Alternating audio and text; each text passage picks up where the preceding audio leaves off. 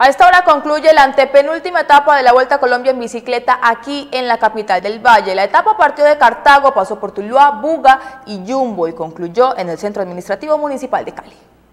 El barranquillero Nelson Soto del equipo Coldeportes Senú fue el ganador de la décima etapa de la versión 67 de la Vuelta a Colombia en bicicleta, que finalizó este viernes en Yumbo, capital industrial del Valle. El segundo lugar fue ocupado por Jonathan Ospina y el tercero por Cristian Ruiz.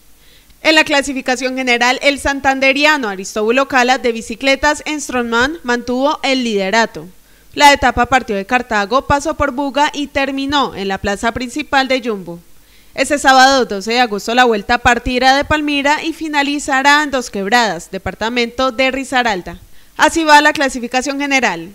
Aristóbulo Cala, 35 horas 32 minutos a 12 segundos. Alescano a 2 minutos 11 segundos. Juan Pablo Suárez 2 minutos 11 segundos. Jonathan Clever Caicedo 2 minutos 23 segundos.